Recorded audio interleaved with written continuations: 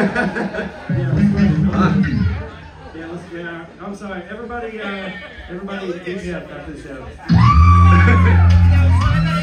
Punch him. Oh, this is integrity.